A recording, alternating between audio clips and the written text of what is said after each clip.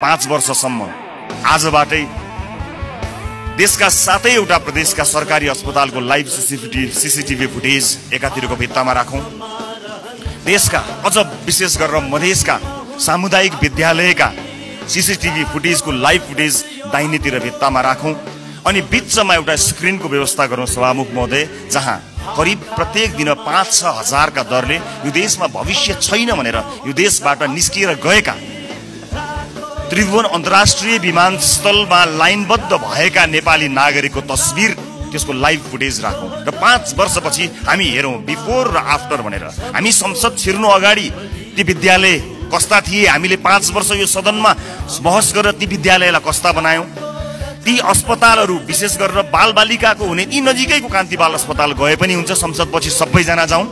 त्यो अस्पताललाई हामीले पाँच वर्ष यो सदनमा विभिन्न पैस कसैले असाध्यै नरम बनेर असाध्यै असल ज्ञानी प्राणी बनेर कसैले हामी जस्ता चर्का आवाजमा बोलेर जसले जसरी बोले ता भए पनि हामीले गरेको नीति निर्माणले पाँच वर्ष अघि र पाँच वर्ष पछाडि के फरक पर्यो भन्ने कुरा यो स्क्रिनमा राखौँ र त्यसपछि पाँच वर्षपछि आउने सदनलाई त्यो स्क्रिनको अर्को दृश्य हस्तान्तरण गर्ने प्रतिबद्धता व्यक्त गरौँ।